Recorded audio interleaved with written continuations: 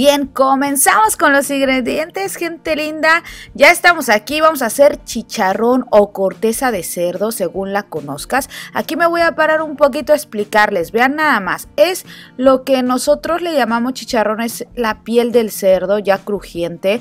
Y muchas veces viene o con carne o sin ella y pues se come sola, ya sea con limón y sal o simplemente a mordidas para botanear. Pero nosotros los mexicanos también lo cocinamos. Y aquí está la forma de que este plato sumamente bien tradicional y bien mexicano. En cada casa no falta.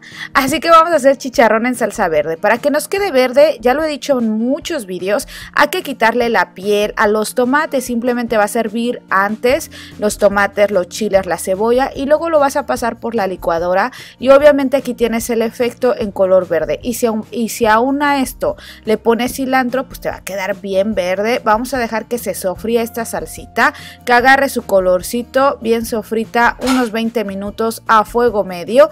Y una vez que ya está sofrita vamos a agregar las cortezas. Es bien facilita esta receta pero se los juro se los prometo son de esas recetas caseras que tiene un montón de sabor. La puedes acompañar con frijoles o alubias no sé cómo la conozcas y ya verás qué rico frijoles negros de olla con unos chicharrones y unas tortillas mexicanas delicioso Bye, nos vemos en el siguiente vídeo.